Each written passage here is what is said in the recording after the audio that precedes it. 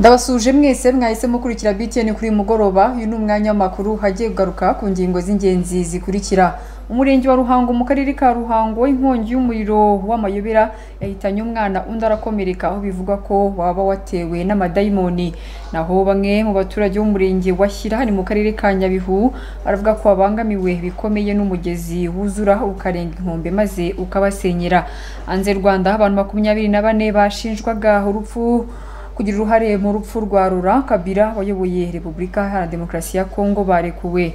Naho perezida ucyuye muri leta zunze ubumwe za Amerika Donald Trump yatangaje ko atazitabira ibirori by'irahira rya Joe Biden uherutse gutsinda amatora yo kumusimbura.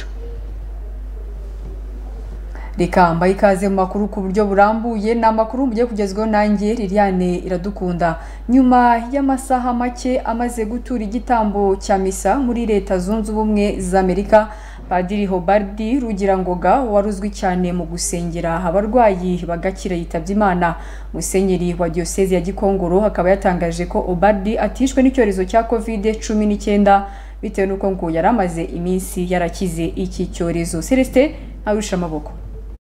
Padiri Obardi Rugirangoga yitabye Imana mu rukerera rwo kuri uyu wa gatanu.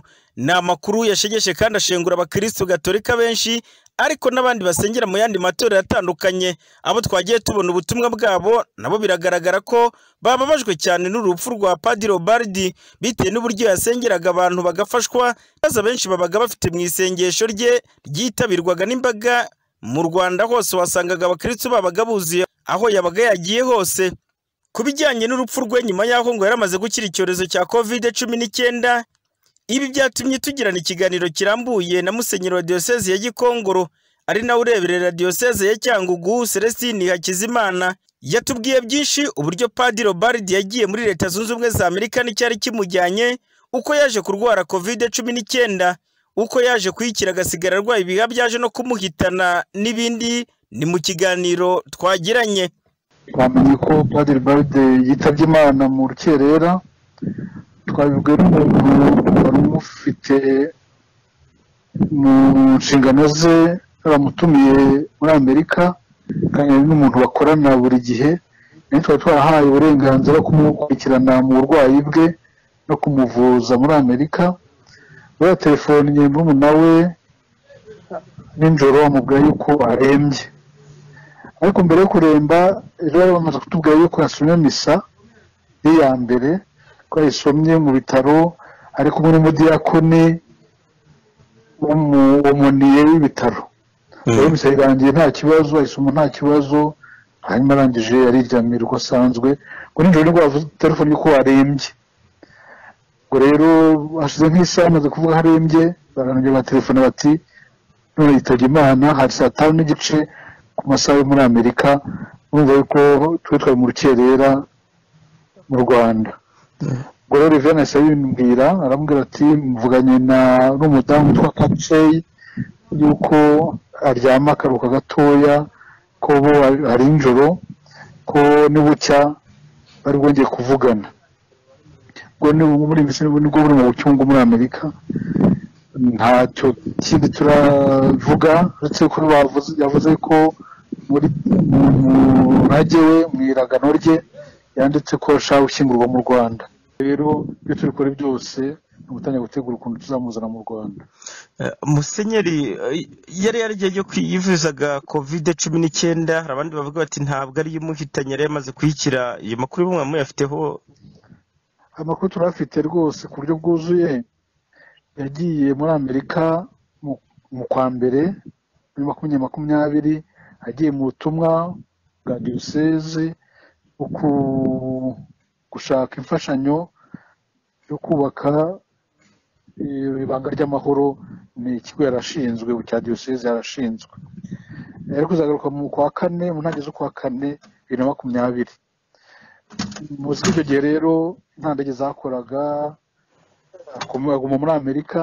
Mu gihe yitegura kugaruka ibintu bitangiye kujya mu buryo ni bwo yarwaye kovide mu kwa cumi ni bwo yarwaye baramuvura mu bitaro bya uta arakira kovide ariko imusigira ibisigisigi imusigira asiga ibihaha byangiritse. Ubwo muri iyi minsi rero bamuvuzaga ibihaha akaba ari byo ariko iyo ndwara y'ibihaha azize. Eh, musenyeri ikindi umuntu ashobora kwibaza muri videwo iheruka kujya ahagaragara mu mpera z'ukwa cumi n'abiri k'umwaka ushize bamwe bavugaga ko yasaga nk'uca amarenga hari bagendeye ko yavuze ko umuntu agomba kuba yiteguye. Eh, n'icyo gitambo cya misa yari yaratuye nta jambo ryo guca amarenga mwamenye wenda bigaragara ko kwari nko gusezera. Ntabwo mbizi.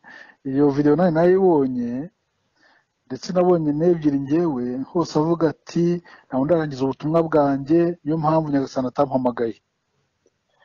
Ya nyuma yifurizaga abantu noheli nziza n'umwaka mushya muhire abashimira ko bamusabira ko ubu bagomba gukomeza kumusabira.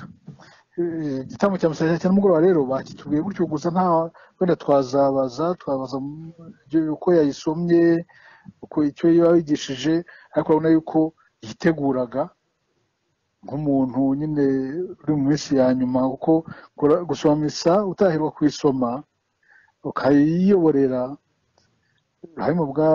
hashira amasaha makeya ukagenda ni ibyo twita gupfa neza Mm. kwitaba imana mbese uko urabona yi- yiteguraga ko mu ijoro turirimbira imana amanywa nijoro urabona rero n'ibyo yari yatangiriye ahangaha ku isi. Ayo marenga rero ko nk'umuntu utari kumwe ntacyo nakubwiraho rwose ariko urabona ko hari imyiteguro y'umukirisitu kari gupfa neza kari gupfa nk'uko wabayeho. Mm.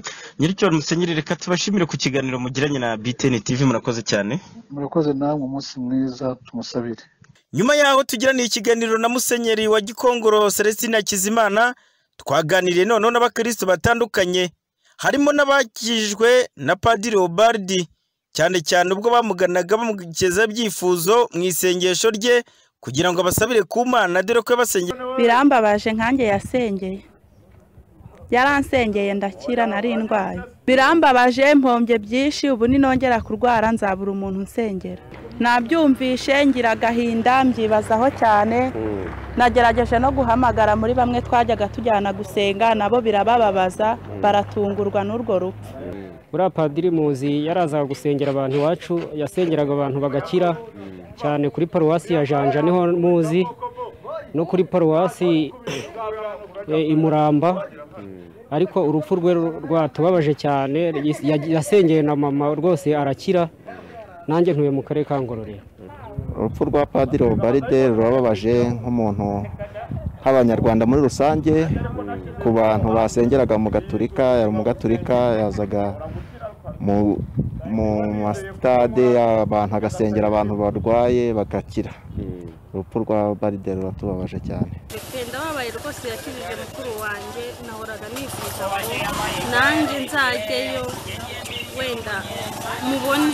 Muziho ubunyangamugayo kandi yasengeraga abantu icyo agusengeyeho kikabaho nyakwigendera padiri obardi yitabye imana mu gihe bamwe mu bakirisitu bavugaga ko iki cyorezo cya covid cumi n'icyenda cyazaba kimaze gucisha make cyangwa se gucogora bari banyotewe no kuzongera kumugera imbere mu isengesho rye ryari risanzwe rikora ku mutima ya benshi. None yitahiye mu ntangiriro z'uyu mwaka icyorezo cya covid cumi n'icyenda na cyo gikomeje gukaza umurego. Celestin ntayurusha amaboko btn tv i kigali. Padiri hobaridi imana imwakire mu bayo. Reka dukomeze n'andi makuru twahabateguriye twerekeza mu ntara y'uburengerazuba. Bamwe mu baturage batuye umurenge wa shyira ni mu karere ka nyabihu bavuga ko babangamiwe bikomeye n'umugezi wuzura ukarenga inkombe maze ngo ukabasenyera.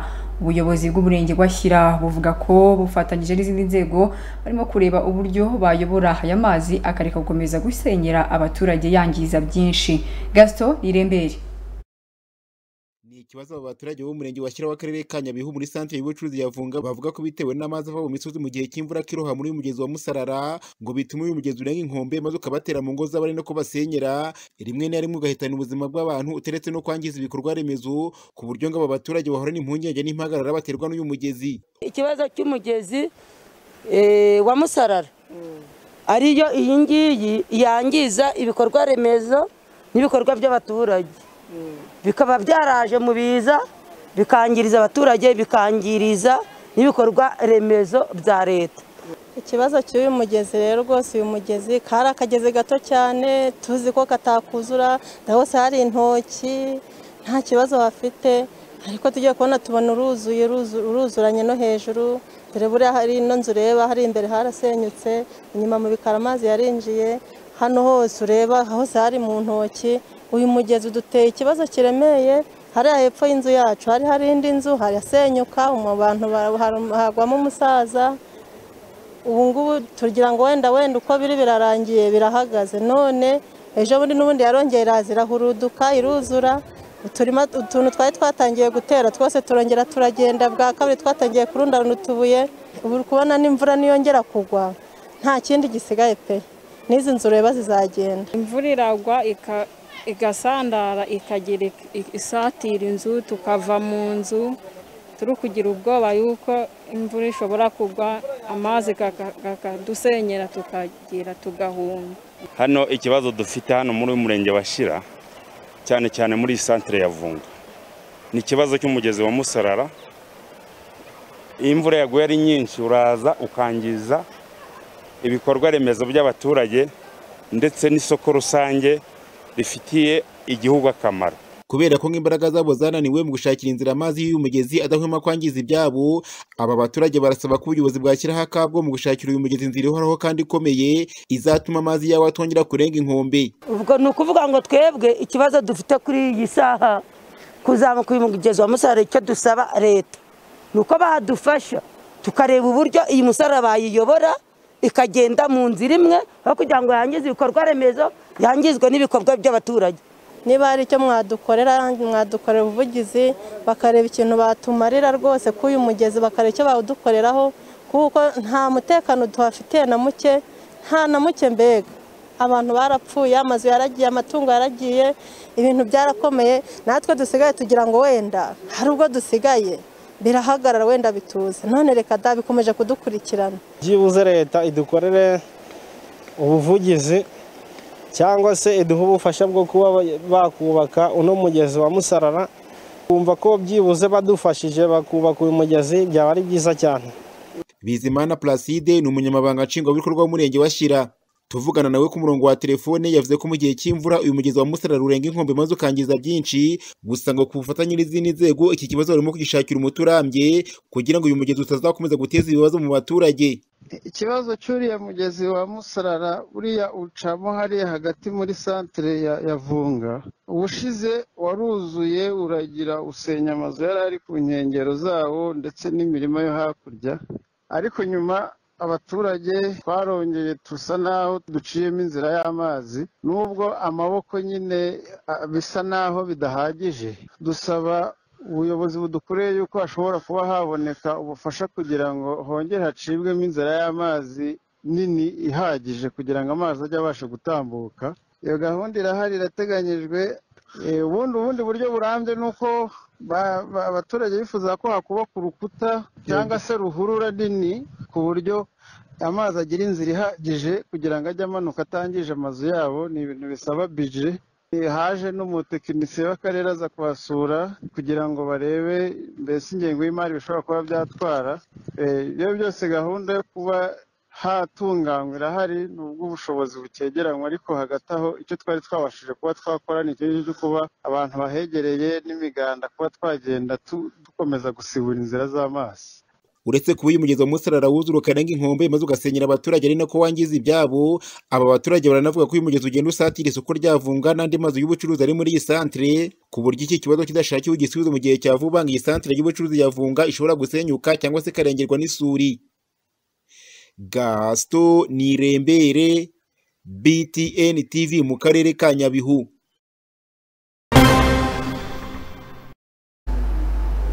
Arakoze gaston irembere tukiri mu ntara y'Iburengerazuba abacuruza isambaza n'abaziranguza mu karere ka rubavu na rutsiro baravuga ko bakomeje guhura n'igihombo gikomeye bitewe n'uko ngo hafunzwe imipaka ihuza uturere kandi ngo abaguzi b'isambaza baraturukaga mu karere ka musanze no mu mujyi wa kigali. Bagasaba ko bahabwa uburenganzira bwo koherereza cyangwa se bwo kwegereza abaguzi babo ibicuruzwa byabo.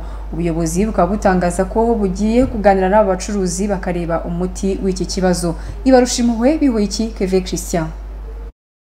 Ni abarobyi abacuruzi abarangura n'abaranguza isambaza basanzwe bahurira ku mwaro w'akarere ka rubavu ku kiyaga cya kivu ariko baturuka mu turere dutandukanye harimo rutsiro ndetse n'abaturuka muri aka karere bavuga yuko bakomwe mu nkokora no kuba imyanzuro y'inama y'abaminisitiri iheruka yarafunze imipaka y'uturere bityo babura abakiriya b'izi sambaza ibintu bavuga ko biri kubatera igihombo gikomeye. Isambaza zirahari ariko abakiriya nabo kandi n'iki kibazo cya kovide nta mafaranga ahari. Wabonaga abava i kigali abava musanze abava ngororero urumva ko twahombye cyane bikomeye umva ziri gupfa rwose pe. Ariko ikibazo ni abakiriya. N'uri kuzica niba ari kuzica ari kugira wenda aba yabonaho ibirayi yazigeza hano akarata nawe uziranguye wa munyakigali wakuguriraga cyangwa wa munyaruhengeri ukabura uwuziha nawe ukarata ukazisubiza mu rugo mbese ubwo ni icyo kibazo dufite. Akoze cyane kandi niriwe neza yitwa uwamahoro josephine naturutse mu karere ka rutsiro. Icyo twazanye uyu musaruro muri kariya kato. Imbogamizi dufite muri iki gihe cya kovide iyo tugeze hano dusanga nta bakiriya bahari. Kuko abakiriya benshi baturukaga kigali za musanze nk'uko babibabwiye ariko kuri ubu turi kugera hano tugasanga abakiriya ni kimwe cya gatatu cy'abo twazihaga. Uko twaziranguye akaba ariko twongera kuzisubiza. Kuri ubu rero imbogamizi cyane cyane dufite ni izo kuba abakiriya barabuze kandi nabo batubwira ko aho bajya gucururiza nta soko rihari kubera ko abantu ari bakeya no gutaha kare byabaye imbogamizi. Ni akazi ka buri munsi kadutunze kadutungiye n'imiryango ariko nta bubiko bwazo tugira nta mafirigo ni ibintu bipfa mu masaha atandatu biba byamaze kwangirika. Iyo tuhageze rero amafaranga baduhaye tuyafata twihuse kugira ngo zitaza kwangirika zikiri mu mabasi. Imbogamizi dufite nk'abacuruzi nta muntu ugihaha ngo akigeze akaryo mu rugo urarangura ukabona n'igishoro kugisubiza mu mufuka biri kwanga ibintu byo guhagarika uturere byaduhombeje ku buryo burenze. Byaba byiza kurutaho gusa twebwe imbogamizi dufite ni uko duturuka mu karere ka rutsiro tuzizanye mu ka rubavu. Ubuvugizi rero twabukesha yenda hano mu karere ka rubavu kuba twabona inzira yazitambutsa tukagera nka musanze ruhengeri na kigali. Niko bimeze ntitwaberanye inosa. Nanjye nturuka mu karere ka rutsiro. Umurenge waboneza ku kirwa cya bugarura isambaza turazizana hano zikagura amafaranga makeya kubera ikibazo cya kovide ariko tukaba twasaba uburyo batwemerera ku buryo baduha nk'inzira i kigali ku buryo zagerayo. Amahirwe bakatwemerera ko twazijyana twaba dushubije dore nk'ubu ikiro twakiguze igihumbi magana arindwi none niyo badushubije kandi taransiporo ikiro twishyura magana abiri mirongo itanu. Ubwo rero tugize amahirwe bakongera bakadufungurira wenda bakaduha nk'imodoka yajya itwara isambaza yonyine gusa. Wenda hakagendamo n'abantu babiri. Twaba dushubije ahangaha mubona duhagaze nka btn ni hamwe muho abaturage basanzwe bahura by'umwihariko abacuruzi na ba rwiyemezamirimo benshi isambaza mubona zaba izizi mu mujyi wa musanze mu mujyi wa kigali mu mujyi wa rubavu ndetse n'ahandi benshi ni ahangaha zirangurirwa. Bamwe rero mu baziharanguriza baravuga yuko bafite igihombo gikomeye bari guterwa no kuba izino sambaza. Icya mbere igiciro cyagabanutse bitewe n'uko n'abazirangura ntaho bari kuzijyana. Ibi rero biri gutuma hari bamwe bazisubiza mu rugo ndetse n'izindi zigapfa n'icyo gihombo kikabaho. Bari kuvuga ko impamvu ibitera ni uko zajyaga nyinshi zimanuka ziva hano muri kano karere ka rubavu zerekeza mu karere ka musanze zikerekeza mu mujyi wa kigali. Muri iyi minsi icyorezo cya covid cumi n'icyenda mu mabwiriza mashya yasohotse nta muturage wemerewe kwambuka ava mu karere kamwe ajya mu kandi. Barasaba rero yuko bafashwa bagashyirwaho imodoka yazajya ikura isambaza hano muri kano karere ikazicana muri tuno turere tundi izigeza i musanze inazigeza mu mujyi wa kigali. Nzabonima deogratias umuyobozi w'akarere ka rubavu wungirije ushinzwe iterambere ry'ubukungu atangaza ko abaturage mu gihe baramuka bishyize hamwe bashobora kuba bashyiraho imodoka bityo ikazajya ibafasha kuba yajyana izi sambaza mu bindi bice ngo dore ko imodoka zijyana ibiribwa n'ibicuruzwa zemewe gutambuka. Ku kibazo cy'ubucuruzi bw'isambaza nagira ngo mbashimire kuri icyo kibazo cyiza mubajije. Bishobora kuba gihari. Kuri ubu ngubu ngira ngo mu mabwiriza ni gahunda ntiguma mu karere tuyivuze mu magambo make. Ariko ibicuruzwa byo birakwirakwizwa hirya no hino mu masoko atandukanye mu gihugu. Ni ukuvuga nk'uko wari ubibajije rero abacuruzi b'isambaza n'abandi bose bakorera hamwe mu mashyirahamwe mu makoperative atandukanye. Bafite amamodoka atwara ibicuruzwa byabo bikagera ku masoko. Bafite abantu bake muri bo babafatira amafaranga bakayabagezaho. Abo ngabo rero bashobora kuba bafite ikibazo cy'isambaza zananiwe kugera ku masoko yabo ya nyabihu amasoko ya musanze. Ni amakuru batari bafite. Turagira ngo tubashishikarize tubakangurire gufata iyo modoka yabo bakishyira hamwe imodoka iragenda mu muhanda nta nkomyi igira aho bagira ikibazo batubwire tubafashe. Ibarushimwe bihoye keve christian btn tv mu karere ka rubavu mu burengerazuba bw'u rwanda.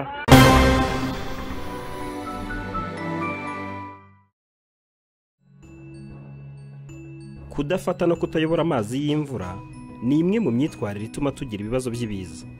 Bikadusenyera inzu bikangiza n'indi mitungo.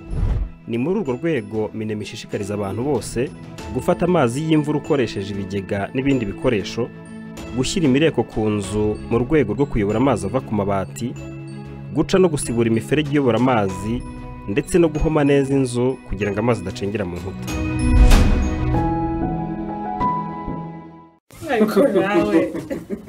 Amaganza. Ngaho mbwira ibiribwa biri mu byiciro bitatu. Hakurikijwe umumaro bifite mu mubiri ndabizi. Ngaho bimbwira ibirinda indwara ibitera imbaraga n'ibyubaka umubiri. Aha ibirayi biri mu kihe cyiciro mu byubaka umubiri. Oya biri mu bitera imbaraga ko n'ibinyamafufu. Eh, ngaho mbwira inyama n'ibishyimbo? Ibitera imbaraga. Oya biri mu byubaka umubiri kuko ni ibikomoka ku matungo n'ibinyamisogwe. Inanasi? Ni ibirinda indwara. Eh, ibyo byo ni byo. Eh. nizere ko tuzongera kwirinda ibirayi ngo urashaka ngo inyama na zo zikugabanyiriza ibiro. Ni ukuri ntabwo nzongera ukuri ndakumenya mubyeyi gabura indyo yuzuye umuryango wawe mu bushobozi waba ufite bwose. Indyo yuzuye igomba kuba irimo ibitera imbaraga ibyubaka umubiri n'ibirinda indwara. Ku bana bato by'umwihariko bakenera ibyubaka umubiri kugira ngo bakure neza nk'amata amagi amafi n'ibindi. Ibirinda indwara nk'umutobe w'imbuto n'imboga kugira ngo batarwaragurika. Abagore batwite nabo bagomba gufata indyo yuzuye kugira ngo umwana atazagwingirira mu nda. Ubu butumwa mubugejejweho n'umuryango help child rwanda. Wavuga ute ko usobanutse nyamara nta gikoresho n'iki umuntu yasanga iwawe kijyanye n'icyubahiro cyawe. Komera rwose ku ishema ryawe. Utunge ibikoresho nk'ibi biguhesha agaciro byo muri silverwood furniture. Gubwa neza muri komfort y'intebe nk'izi zo mu ruganiriro zikoze mu ruhu runoze. Mu muryango musangirire kuri aya meza maze ababasura babashimire ubusirimu. Nimunaruhuka kandi muvimvire mu gitanda nk'iki kivura amavunane. Muri silverwood furniture ni ho abasobanutse bagurira ibiramba kandi bitanga umudendezo. Urabona nk'izi garderobe? Utu tubati za kwiziniyeri imashini zimesa n'ibindi byinshi original. Silverwood furniture yivanira ku ruganda muri turukiya Silverwood Furniture Limited wadusanga ku Kicukiro muri Gratia House iruhande rwa House Mount Kenya. muzehe karasira rero iki kinyobwa mutuye cyitwa ikosowe umugabo ukinyoye rwose ahorana akanyamuneza. Ariko kandi ndabasaba n'ijambo. Kayitare shaho nyumvira iki kinyobwa niba uyu mugabo yakivugira ari ijambo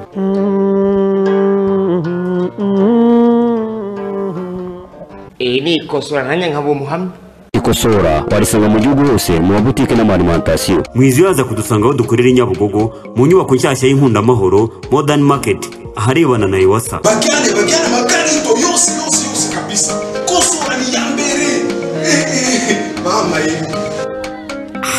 ku bindi bisobanuro mwaduhamagara kuri nimero zeru karindwi umunani umunani mirongo inani n'icyenda cumi na kabiri mirongo itandatu na rimwe.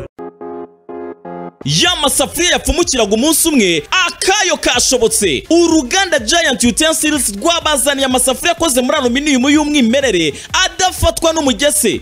Tugufitiye amasafuriya meza ari mu ngano zose kuva kuri litiro imwe kugeza kuri litiro cumi na zirindwi aya masafuriya kandi ari mu bwoko butandukanye harimo nka kiya poti giant poti ndetse na boxing poti itegereze neza hatagira ukubeshya kuko amasafuriya yacu hariho ikirango cyiza cy'agasafuriya gatoya kari mu ibara ry'umukara. Abifuza kugura detaye no kurangura aya masafuriya meza mwadusanga mu mujyi munsi y'isoko ahateganye na lagalete umanuka downtown cyangwa se mukadusanga ku ruganda aho dukorera i Masaka ku ihara kuri paruwasi ya Masaka. Cyangwa mukaduhamagara kuri zeru karindwi umunani gatandatu mirongo itanu na gatanu mirongo icyenda makumyabiri na gatanu. Cyangwa se kuri zeru karindwi umunani gatatu makumyabiri na gatatu mirongo inani na gatatu magana abiri mirongo itatu n'icyenda waba uteka ku mbabura cyangwa kuri gaze amasafuriya ya giant utensils niyo gisubizo ukeneye.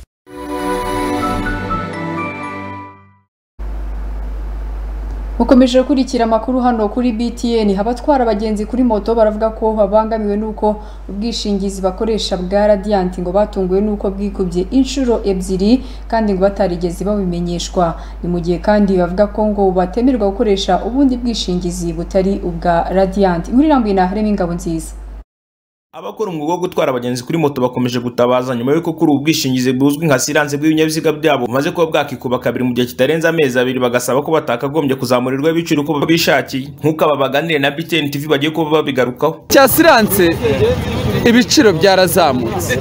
Turikumvikana byarazamutse. Niba ari iyo ari mirongo icyenda na bitanu bikaba bigeze ku ijana na makumyabiri na bitanu na bine. Sibyo? None uri kuvuga ngo rero amafaranga arazamuka ubwo jye aradiyanti yanjye yari kurangira ku itariki umunani izarangira ejo. None ubwo ngubwo rero nangiye kwishyura undi itararangira banci ijana na makumyabiri na bine magana arindwi. Dore urutonde bampaye kuko mbere yari mirongo mbere yari mirongo itandatu na kimwe. None bakubye kabiri ni ijana na makumyabiri na bine. Urumva bakubye kabiri. Bya asiranse njye ndimo numva ari ibintu birebire kuko njye asiranse mfite uyu munsi nurangira ejo asiranse yanjye izaba irangiye ariko imbogamizi ubu nagize zirakomeye kandi zirumvikana. Asiranse naguze ubushize nagiye kuyigura barambwira ngo bayizamuye.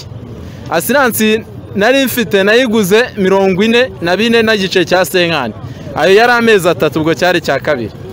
Ubwo umwaka bambwiraga ko ndishyura ibihumbi mirongo inani n'umunani n'amafaranga ijana.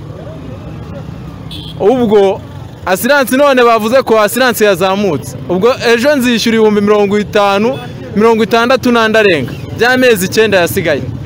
Izo rero ni imbogamizi kandi hari amakuru twe dufite ko izindi ashuwaresi nka sonarwa n'izindi. Icyo giciro kitazamutse.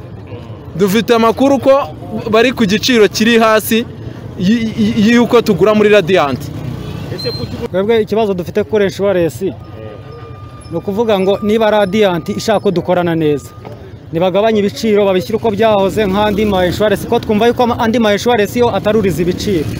Ariko mu kigaragara iyo uguriye inshuwarensi ahandi udekarara otorizasiyo ikanga.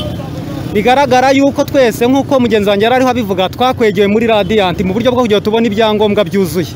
Ni byiza ko dukora dufite otorizasiyo ariko niba ari byiza ko dukora dufite otorizasiyo nabo niba tudohorere kuko niba bagiye kujya batuca ibiciro bashatse uko bukeye uko bwije bakinjiza kubera yuko ari bwo tubasha kubona ibindi byangombwa twebwe twaba turi mu gihombo kandi byadutera ubukene. Niba twarakoraga amasaha makumyabiri n'ane kuri makumyabiri n'ane tukishyura inshuwarensi tukayishyura ibihumbi mirongo itandatu. Tukaba dusigaye dukora igice cy'iki igice cy'umunsi. Tukishyura ibihumbi ijana na makumyabiri cyangwa ibyo bihumbi mirongo cyenda ni ikibazo kiremereye. Bakomeza bagaragaza akarengane bakorerwa bakaba bavuga ko batakagombye guhatirwa gukorana na sosiyete imwe y'ubwishingizi bagasaba ko bakagombye guhabwa ubwisanzure. Kandi noneho bareke ikibazo bashyize muri asiranse imwe. Utaguriye muri radiyanti nta handi handi wagurira. Urumva? Nibareke rero baduhereza uburenganzira kuko umuntu afite uburenganzira bwo kugura asiranse aho ariho bidushyira ahantu hamwe niyo mpamvu bazamura uko bishakiye. Ubuvugizi mwadukora yenda ko umumotari yakwisanzura ku bwishingizi ashaka yenda aho yumva hamworoheye hajyanye n'ibiciro afite akishyura akabasha kubona otorizasiyo twabasaba kugira ngo mutuvuganire. Umumotari iteka ryose aravuga ariko ntabwo nta kintu bitanga. Mutuvuganire. Iri ni ihohoterwa naryo. Iri ni ihohoterwa gufata ikintu ugahita ukizamura utakimenyesheje. Noneho ugafata iki abantu ukabashyira ahantu hamwe ngo ntabwo ubwo ni ubwisanzure se gute asiranse ni iy'umuntu ajya muri asiranse kugira ngo yirinde cyangwa yagira impanuka bigira icyo byamufasha ubwo rero ubwo bazamuye kuriya tugiye kwicara nyine twebwe ngewe mbona dushobora kuba twaraguzwe kuko nta kuntu badushyira muri radiyanti honyine kuko dushyize ari umuntu ubitekereza ntabwo wadepoza otorizasiyo uri mu yindi ashuwarensi ngo baguhe otorizasiyo ntabwo bishoboka. Ubwo baretse bakaduha ubwisanzure tukagurira ahandi kuko sosiyete zose zirangana kandi batanga ubwishingizi bumwe bagashyira ku giciro twumvikanyeho byaba byiza byadufasha. Ingaruka ingaruka byatugiraho bigiye gutera ubukene. Kuko ukurikije icyorezo turiho cya kovide urabona ntabwo dukora iminsi yose. Kuko si bagakwiye kudufatanya na kovide ngo noneho badukubitira mu gafuka nk'uko bisigaye bivugwa. Ubu ni ukudukubitira mu gafuka bagahorahoza. Kuko ibihumbi barimo baraduca ni menshi cyane. Nk'iyi minsi abantu dufite ikibazo cy'amafaranga ubukene bwenda kwica abantu. Ikintu cyakorwa ikintu cyakorwa ikintu cyakorwa ku bwisanzure bw'umumotari. Nibaduha uburenganzira tugure shuwaresi aho dushaka izo shuwaresi zindi na zo baziha ubushobozi bw'uko twajya tudekarara otorizasiyo tukazibona. Bo kwikubira ubushobozi bw'ibyangombwa bonyine. Kuko niba bigenze gutyo biragaragara ko haba hajemo ikintu kitari cyiza n'umwuka utari mwiza. Kuko motari amafaranga ntabwo turi kuyabona. Niba twarabonaga amafaranga dukora amasaha akwiriye ubu ngubu tukaba dukora amasaha make bitewe n'iki cyorezo turiho tubasha kwirinda. ntabwo byakemera amafaranga ni make. Ku murongo wa telefoni tuvugana n'umuyobozi w'impuzamashyirahamwe y'abamotari mu rwanda firwa kota mu bwana ngarambe daniel yadutangarije yuko n'abandi bakeneye gukorana n'aba bamotari nabo bazabafasha bakabasha kuba baganira nabo. Wenda n'abariya ni abacuruzi no kuzamura n'uburenganzira bwabo ariko umukiriya wawe uramuteguza ukamubwira ngo iki gihe ibi wabiguraga aya ariko undi munsi uzabiguraya ariko kuzamura rimwe mu mezi abiri ukazamuramo kabiri amafaranga utanabwira abantu impamvu y'amafaranga yazamutse ubwo ndagira ngo nizo mbogamizi abamotari bagize. Babagabanyiriza nabo ari bo bajya kugura. Ikibazo gihari ubwo risonerwa na yo nimba ishaka abakiriya b'abamotari nigende yuzuze ibyo ruribaza noneho abamotari bagende bagurire.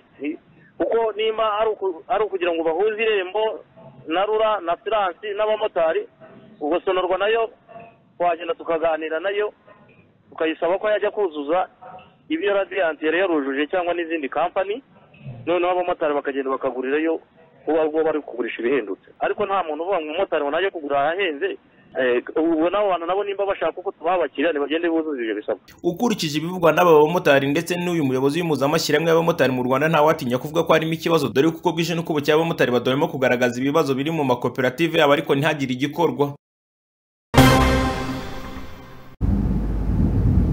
Arakoze mugenzi wacu urema ingabo nziza reka twerekeze mu ntara y'amajyepfo aho mu murenge wa ruhango ni mu karere ka ruhango. Inkongi y'umuriro w'amayobera yibasiye inzu y'umuturage. Ibyo mu nzu byose bigashya bigakongoka ndetse umwana umwe wo muri urwo rugo akasiga ubuzima undi agakomereka. Abatuye muri aka gace bavuga ko uyu muriro ushobora kuba ngo watewe n'amadayimoni bitewe n'uko muri iyi nzu nta muriro w'amashanyarazi ubamo ndetse ngo nta n'ikindi kintu cyari kirimo cyashoboraga guteza iyo nkongi y'umuriro. Inkuru irambuye ni amahoro samusoni harahagana mu masaha ya saa yine za mu gitondo kuri uyu wa munani mutarama bibiri na makumyabiri na rimwe ubwo mu karere ka ruhango mu murenge wa ruhango kagari ka munini mu mudugudu wa bugari humvikanaga inkongi y'umuriro iteye urujijo. Mu nzu y'umuryango wa bisengimana vianney ndetse na mukamana laurence yadukiriwe n'inkongi y'umuriro yatwitse ibyari mu nzu byose. Nyamara uyu muriro ntiwarenga inzu. Abaturanyi b'umuryango wa bisengimana vianney bagana na btn tv badusobanura imvo n'imvano y'uyu muriro. Umwe muri bo yakomeje abwira btn tv nyuma ngo yo kugera muri uru rugo. Yakoze ibishoboka byose ngo ataba. Nyuma yo kwica urugi muri iyi nzu. Ngahura nawe irasubiza Pierre uri mu kigero cy'imyaka ibiri n'igice. Ngo wadandabiranaga agerageza gusohoka mu cyumba. Mu gihe mushiki we bagize Chanel ruri mu kigero cy'umwaka n'amezi atatu. Yari yamaze kuhasiga ubuzima. Iyi nzu ubusanzwe itagira umuriro w'amashanyarazi. Yewe hafi yayo nta n'urusinga rw'amashanyarazi ruhaca. Ndetse no mu bikoresho byari muri iyi nzu nta na kimwe kigaragara cyane nko kuba intandaro y'umuriro. Ibyo abaturanyi b'uyu muryango ndetse na Bisengimana Vianney ubwe bafata nk'urujijo. Urabona ari umuriro usanzwe. Turabona ari umuriro usanzwe. Twabonye ari umuriro usanzwe kuko nta mashanyarazi Eh, kandi tubona ko ari umuriro wayitwitse tukeka ko ari umuriro usanzwe wayitwitse. Ntabwo natwe ni cyo turi kwibaza ntabwo tuzi impamvu yabyo. Nta mashyiga aba muri icyo cyumba. Icyo cyumba bahereyemo ni icyumba cyo kuryamamo. Ikibiriti cyari hanze. Uje nakwereka aho kiri yanakiguze nanjye ni ikibazo nibaza aho uwo muriro wavuye. Ntabwo uri kwibaza ahantu umuriro wavuye. Ntabwo ndi kubyumva kuko nawaza nkakwereka aho ikibiriti kiri Hmm. agapaki kuzuye nakaguze ejo mbuze umuriro wo gucana. Nkisiga mu gikoni. Abaturanyi b'uyu muryango Bisengimana Vianney ibyari muri iyi nzu byose byahiye bigakongoka ngo bagiye kwiyegeranya bashaka icyo bafasha uyu muryango. Gusa icyo mbona ni uko abaturanyi nabo ni abantu bafite umutima mm, ni ukwegera umuryango wa nyakwigira tukabihanganisha ndetse ufite umutima ukundana akagerageza kubashakira ubufasha bushoboka. Mm. kuko nta kintu kigaragara cyasigaye mu nzu. Ngewe ikintu mbona nabasabira. Uhereye ku biryo ntabyo bafite. Byahiye. Ku masafuriya yo gukoresha mu gikoni byose byo- byose byo mu nzu byose byahiye.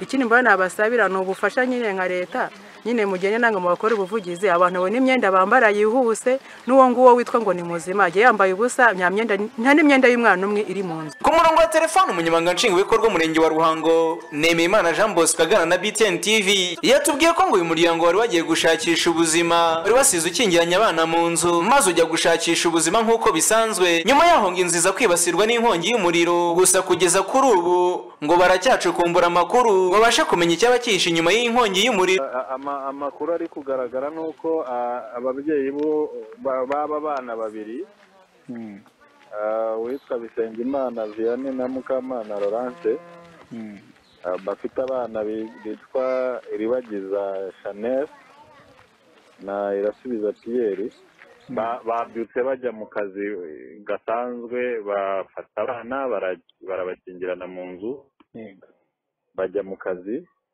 hanyuma rero haza kuboneka ikibazo cy'inkongi y'umuriro. Inzu ya- yabo ira- irashya hahiramo aba bana babiri ariko umwe umwe muto ufite umwaka umwe n'amezi abiri uyu bita teta chanel yitaba imana. Hanyuma ah, undi bagerageje kumutabara atara- atarashyiramo umwuka yagerejwe kwa muganga. Kugeza ubu rero nta ntawuramenya icyateye inkongi y'umuriro. Ni amakuru ari mu baturage natwe tugishakisha. Ariko rib irimo kubikurikirana ngo irebe niba niba hari ikindi cyaba cyihishe inyuma y'iyi nkongi y'umuriro. Yego. Bi- birajyana n'ibyo abaturage barimo kuvuga ababyeyi bo bati nta kibazo cyari gisanzwe. Ariko nanone ntabwo twaterera iyo turacyakora icukumbura ry'amakuru ngo turebe kuko niba hari ikindi cyaba cyateye inkongi hari hashize igihe kitagera ku masaha makumyabiri n'ane TV bagejeje inkuru y'umusore witwa sinzi nka Darius uri mu kigero cy'imyaka mirongo itatu n'itatu. Ufashe icyemezo cyo kwikingirana mu nzu ndetse anakingiranamo umwana w'imyaka itatu. Witwa Daforos uri mu kigero cy'imyaka mirongo itatu. Nyuma y'aho ngo yari yagiye kumusura anamusaba ko bakorana imibonano mpuzabitsina aranga. Afata icyemezo kigayitse cyo kwikingirana mu nzu hamwe n'umwana we wanze ko bakorana imibonano mpuzabitsina. Aritwika maze umwana ahita ahasiga ubuzima. Amakuru agera kuri BTN TV ni uko uyu mugabo nawe yaje kugwa mu bitaro bya Butare aho yari arembeye. Bidateka ni bwo humvikanye inkongi y'umuriro idasobanutse mu murenge wa Ruhango. Aho inzu ihira imbere n'ibirenga amabati. Ibyo benshi bavuga ko ngo iyi nzu ishobora kuba yatwitswe n'amagini. Iyi ni BTN TV njye ndi Mahoro Samson ndi mu karere ka Ruhango mu ntara y'Amajyepfo.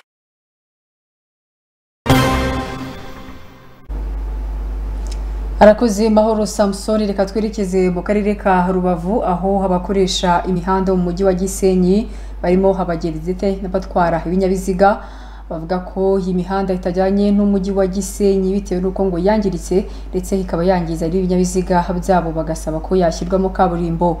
Ubuyobozi bw'akarere ka rubavu buvuga ko uri hafi gushyiramo kaburimbo ndetse bagasaba ubufatanye abaturage batuye mu karere ka rubavu. Ndahiro valence papi ntabwo byari bikwiriye kuba uyu mujyi wakagombye kugira imihanda mibi kandi ari umujyi uzamo abakerarugendo baza kureba amazi ibintu nk'ibyo ngibyo ntago byari bikwiriye. Aba ni bamwe mu baturage batuye muri aka karere ka rubavu bavuga ko ukurikije aho iterambere ry'u rwanda rigeze ndetse no kuba ubucuruzi buhakorerwa nk'amahoteli amacumbi aciriritse ndetse n'ubundi bucuruzi butandukanye.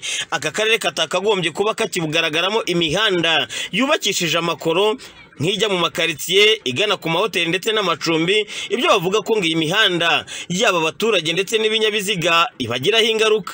Uva petite ujya garande urabona yuko ari amabuye cyane.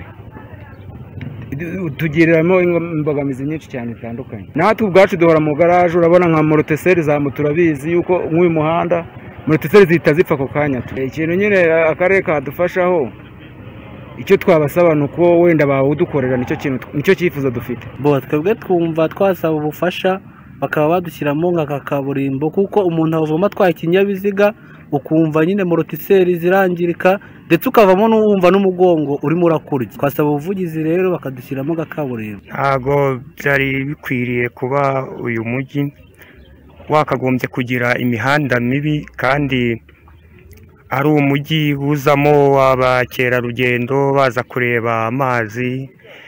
Ibintu nk'ibyo ngibyo ntago byari bikwiriye kugira ngo uyu mujyi ugire aya mabuye ameze atya. Nkatwe b'abashoferi twirirwamo dutahana imvune ibinyabiziga byacu bikangirika. Ariko gusa bwo byaratuyobeye bajya bavuga bajya bavuga ko uyu muhanda aya mabuye bagomba kuyakuramo ariko ubuyobozi sinzi ikintu bubikoraho byaraducanze. Ni ukuvuga ngo mu karere ka rubavu muri uyu mujyi uhuza imipaka yombi petite bariyeri garande bariyeri uyu muhanda wakozwe bashyiramo umuhanda w'amabuye ariko mbona nyuma y'aho ngaho nta cyerekezo kirimo kidushimishije cyangwa kidufasha umunsi ku wundi kubera ko morotiseri zipfa buri munsi tugatana amavunane umugongo impyiko n'izindi ngingo z'umubiri ntabwo tubireba neza ariko turabyumva turazahara. Ni ukuvuga ngo icyo dusaba mu rwego rw'igihugu cyangwa se rw'akarere by'umwihariko ni ukugira ngo badufashe badukorere umuhanda byibuze wa kaburimbo turebe ukuntu ko twadukora neza kubera ko natwe byadufasha bigafasha n'igihugu muri rusange. Ku murongo wa telefone tuvugana na nzabonimpa Theo Gratias umuyobozi w'aka karere wungirije ushinzwe iterambere ry'ubukungu. Nawe avuga ko icyabanje gukorwa ngo ari imihanda migari. Naho ngo iyi mihanda yo mu makaritsiye na yo ngo bashonje bahishiwe. Ni wowe wa mbere numvise urimo kunenga rubavu ku mihanda. Kuri icyo kibazo cy'imihanda ho mu karere ka rubavu mu mujyi wa rubavu nagira ngo nibutse ko ari umwe mu mijyi yunganira umujyi wa kigali. Ni umujyi ufite gahunda yo kubaka ibikorwa remezo ku gipimo gishimishije birimo imihanda gukwirakwiza amazi hirya no hino amashanyarazi. Ngira ngo nk'uko mubibona murabona ko umujyi urushaho kugenda urushaho gusa neza. Imihanda rero muri iyi myaka mike ishize ishize hubakwa imihanda buri mwaka mu ngengo y'imari y'akarere harimo ibirometero by'umuhanda byubakwa ngira ngo murabibona hirya no hino. Ubu ngubu turafungura si n'umujyi gusa twubakamo.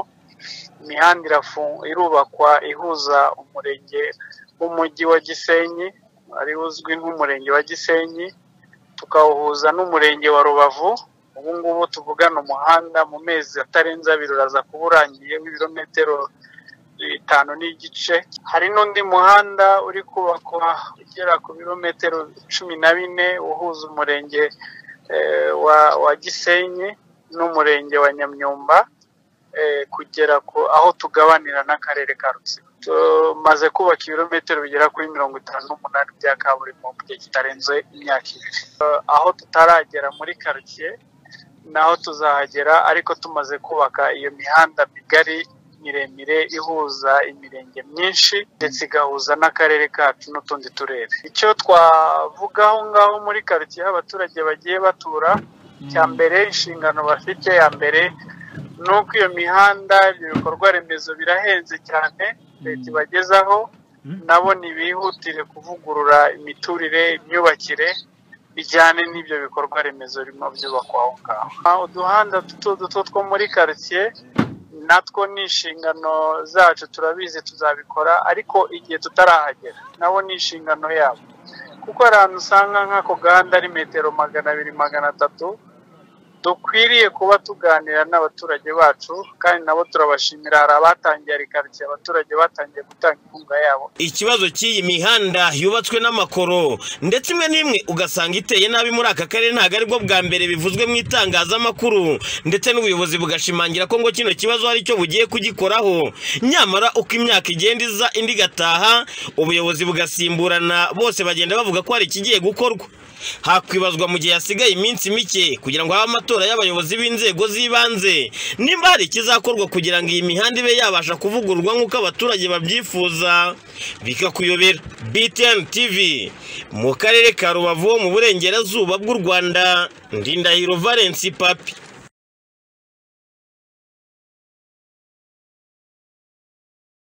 Abacuruza imboga n'imbuto. Mubyeyi. Nuramuka ugize umugisha wo kubyara. Wihangayika wibaza aho uzakura ibikoresho byiza bizaherekeza umwana wawe kuva ari uruhinja kugeza akuze. Iturize maze ubihahire muri iturize ubeho shopu niryo duka rukumbi rifite ibikoresho byiza kuva ku by'isuku nka pampa renjete amabase meza yo kumwogerezamo n'ibijyana na yo imyenda wamwambika mu gihe cy'ubukonje cyangwa cy'ubushyuhe yaba ari mu rugo cyangwa se wamusohokanye. Bagufitiye bibero nziza cyane amasahani meza n'ibijyana na yo bizagufasha kugaburira umwana wawe kugeza akuze. Muri turizi ubeho shopu kandi tuzanagura ibikinisho birimo nk'imodoka nini umwana yicaramo akitwara. By'akarusho ni twebwe duhagarariye pampa na renjete bya iturize bebi izi pampa zahawe icyemezo cy'ubuziranenge na rsb kandi ubuhanga zikoranye wisuka umwana wawe dore ko zishobora kujyamo hafi litiro eshatu z'amazi.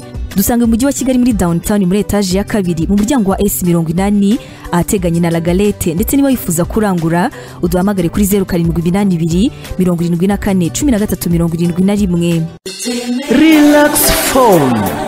Relax Phone ni matora nkurangiye iramba bizira guhombana kubera ireme ryashimwe ubuziranenge. Ni ya yindi uryamaho ukaba utandukanye n'amavunane ukazahiraga n'ubuvivi.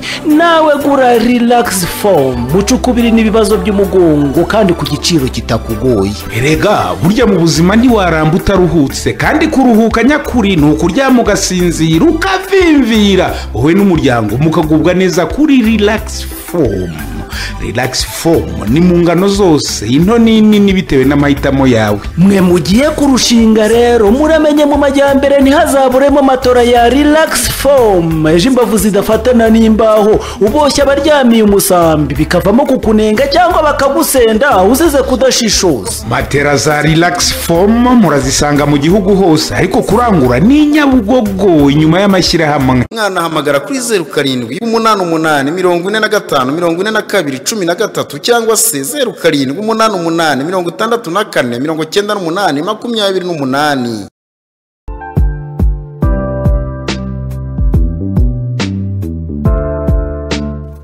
Muraho neza. Bazaniye amakuru meza. Wari uzi ko ushobora kuba wahaha aho uri hose mu gihugu hanyuma tukabikugezaho mu gihe gito cyane. Nta kindi bigusaba ushobora kuba wadusura kuri webusayiti yacu kuri wawawa akadomo ahupa akadomo neti cyangwa se ukaba watwandikira kuri watsapu kuri iyi nimero iri hasi. Ubundi ukihahira kandi byoroshye cyane. Twandikire hanyuma tubikugezeho aho uri hose.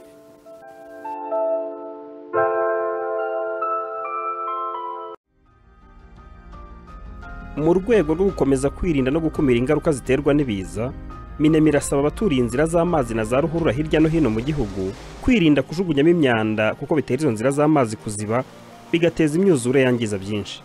Abaturiye izo nzira z'amazi kandi barasabwa kuzisukura buri gihe bavanamo imyanda ibitaka n'isayo. Abaturiye ruhurura n'inzira z'amazi baranasabwa kurinda abana kuzegera ni mu rwego rwo kwirinda impanuka.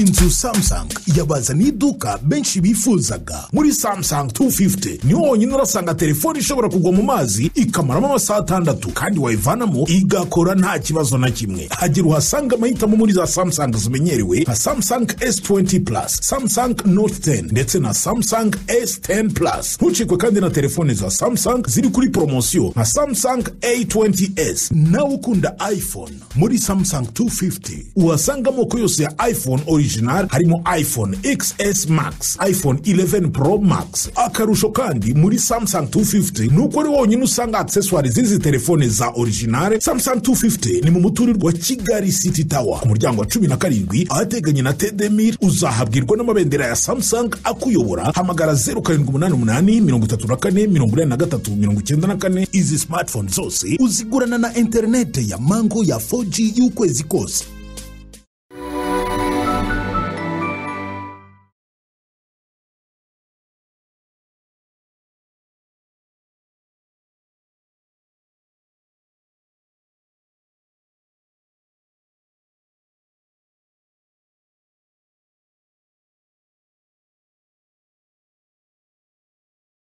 Muri iki gihe duhanganye n'icyorezo cya korona vayirasi turashishikarizwa gukaraba intoki n'amazi meza ndetse n'isabune ya deteregisi kuko deteregisi ni antibacterial. Iyi sabune ya deteregisi ni isabune ihendutse yo gukaraba igendanye n'ubushobozi bwa buri wese. Ni isabune ikoranwe ubuhanga buhanitse ndetse n'imiti yabugenewe ku buryo biyiha ubuhangange bwo kwica bagiteri zose. Niyo sabune ya mbere leta yo gukaraba. Si iyo gukaraba intoki gusa kandi kuko deteregisi ni isabune yo koga kuri buri muntu wese mu byiciro byose. Igafasha abayikarabye gusigarana umutuzo n'umunezero kubera impumuro yayo y'agahebuzo. Ihendutse ite? Iyi sabune ya deteregisi turayisanga hirya no hino mu marimantasiyo za supamaketi ndetse no mu mabutike atandukanye. Ku bifuza kurangura mwahamagara kuri zeru karindwi umunani umunani mirongo itatu mirongo itandatu n'umunani. Zeru kabiri. Turashishikarizwa gukaraba intoki n'amazi meza ndetse n'isabune ya deteregisi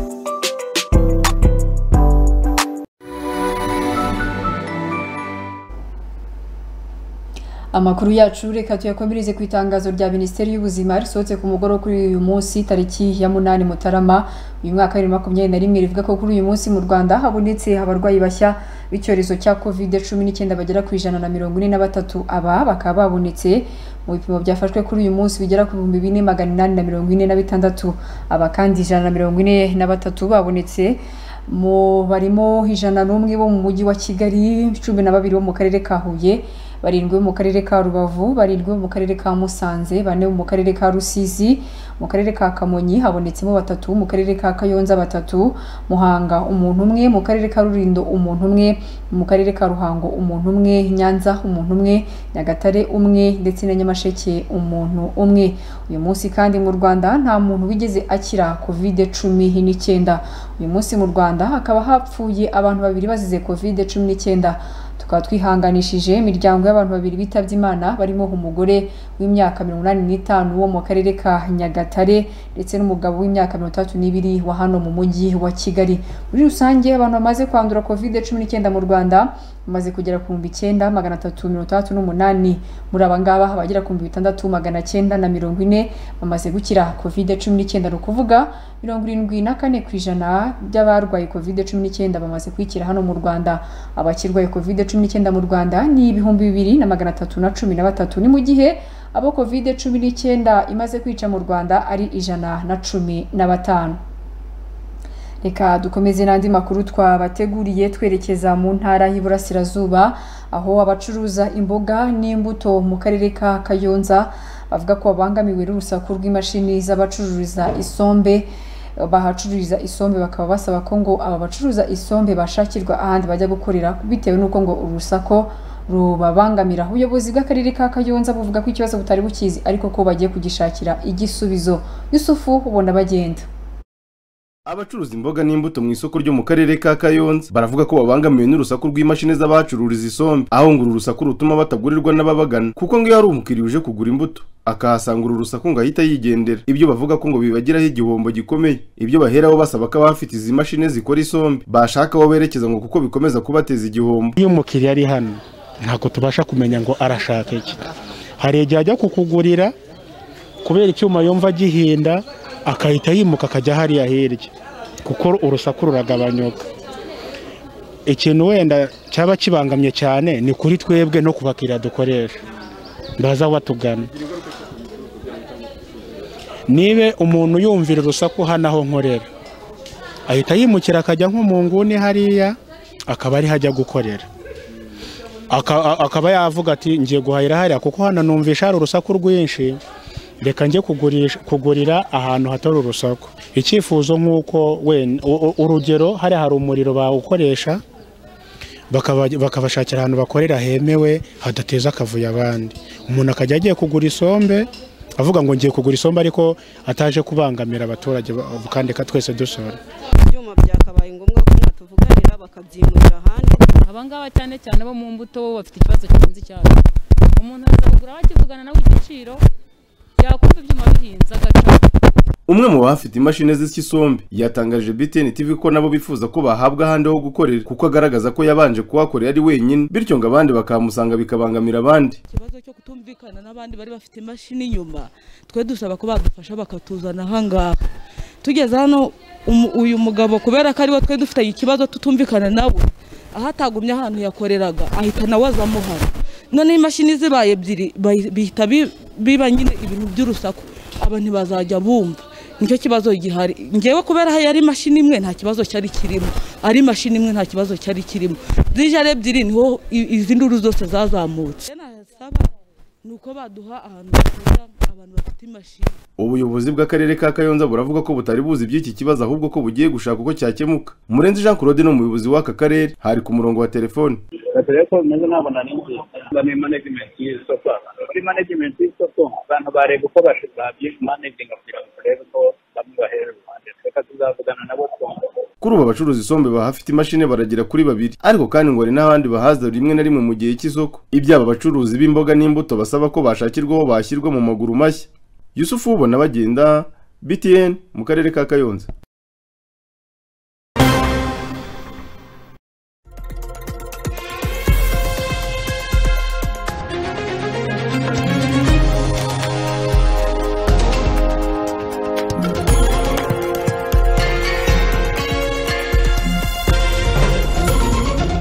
Amakuru ari kuvugwa hanze rwanda reka tuhere muri repubulika iharanira demokarasi ya kongo aho abantu makumyabiri na bane bashinjwaga uruhare mu rupfu rwa Laurent Kabila wayoboye repubulika iharanira demokarasi ya kongo barekuwe. Aba bagabo barekuwe ku mbabazi baherutse kugirirwa na perezida felix tshisekedi bakaba bamaze imyaka igera kuri makumyabiri bari mu buroke mu buroko. Hari hashize igihe imiryango iharanira uburenganzira bwa muntu isaba ko abo bantu barekurwa kuko urubanza rwabo rwafatwaga nk'urwa politike. Abantu byari ibyishimo mu murwa mukuru Kinshasa ubwo abo bagabo makumyabiri na bane barekurwaga kuri uyu wa gatanu tariki ya munani mutarama mu mwaka wa bibiri makumyabiri na rimwe. Abanyekongo benshi bafata abo bagabo nk'ibitambo by'urupfu rwa kabira wishwe mu mwaka wa bibiri na rimwe. Mu barekuwe harimo Edi Kapend wahoze ashinzwe abakozi mu ngoro y'umukuru w'igihugu. Perezida ucyuye igihe wa leta zunze ubumwe za amerika donald trump yatangaje ko atazitabira ibirori by'irahira rya joe biden. Uherutse gutsinda amatora yo kumusimbura. Trump hatangaje ibi nyuma y'amasaha make yemeye ku mugaragaro ko yatsinzwe amatora ndetse yiteguye ihererekanya ry'ubutegetsi rikozwe mu mahoro. Mu butumwa ku rukuta rwe rwa twitter kuri wa gatanu yagize ati ku bantu bose babimbajije ntabwo nzajya mu irahira ryo ku itariki makumyabiri mutarama kuva hatangazwa mu buryo bw'agateganyo ko biden yatsinze amatora trump bari bahanganye washakaga manda ya kabiri ntabwo yigeze yemera ibyavuye mu matora ndetse yakunze kumvikana avuga ko habayeho ubujura bw'amajwi.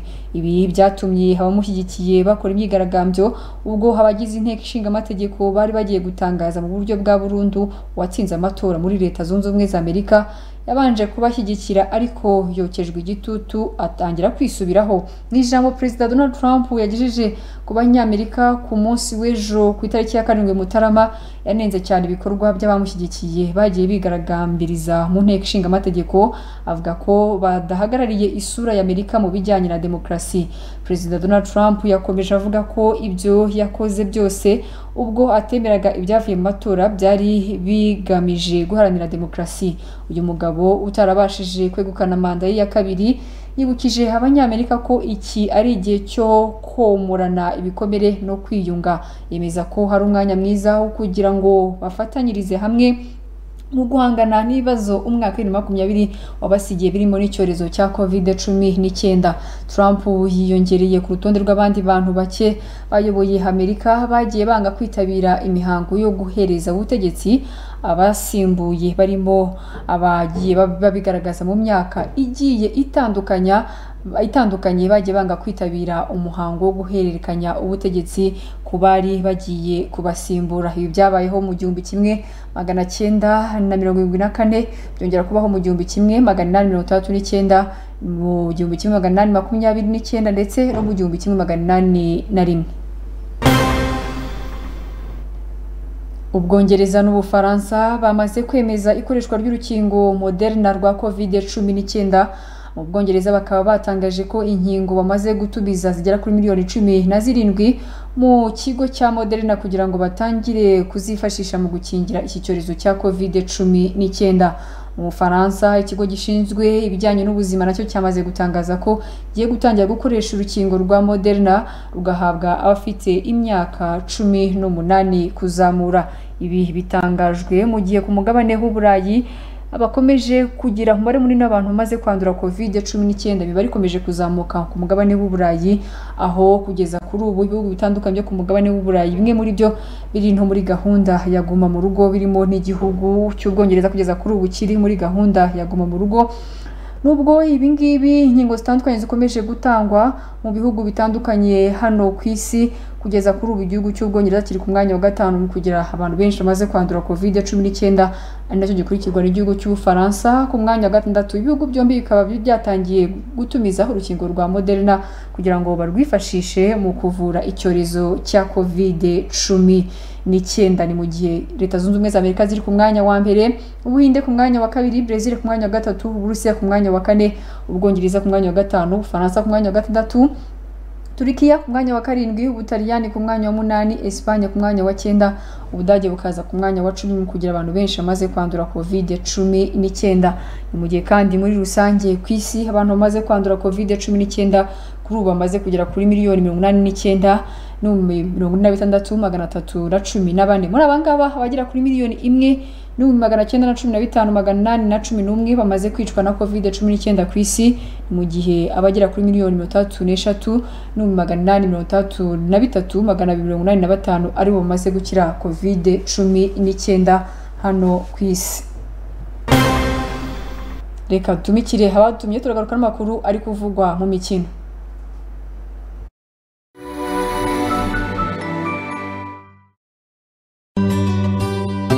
Uruhu rwawe rukeneye kwitabwaho by'umwihariko. Ubwoko bw'uruhu rwose waba ufite urw'amavuta urukanyaraye cyangwa se ururwaye ibiheri tangira kurusiga amara extra care. Ni amavuta akozwe mu bimera karemano bigera ku icyenda. Atunganya kandi akarinda uruhu rukanyaraye ururwara ibiheri hamwe n'urugira amavuta menshi. Aya mavuta mashya ya amara extra care akaba afite ibintu bitatu by'ingenzi ku ruhu rwawe. Icya mbere ni uko yifitemo voka ndetse n'ubunyobwa bisiga uruhu rwawe rukeye kandi rusukuye by'intangarugero. Icya kabiri yifitemo ibyatsi karemano birinda uruhu rwawe kurwaragurika maze ibiheri bigashira kandi ukagumana umutuzo. Icya gatatu yifitemo ibihwagari ndetse n'ibindi bitunganya uruhu rwawe maze rukongera kuba rushya. Amara extra care tangira kwita ku ruhu rwawe by'umwihariko. Dukomeze mu nzira y'iterambere. Na riva trading limited. Ntibikiri ngombwa kujya kurangura imahanga ibicuruzwa bitandukanye bya kenkayori. Ku bufatanye n'inganda zikomeye ku isi zikora ibyo bikoresho riva trading limited yabibegereje kandi ku giciro cy'inseko. Ni mu mujyi wa kigali rwagati munsi ya hoteli gloria.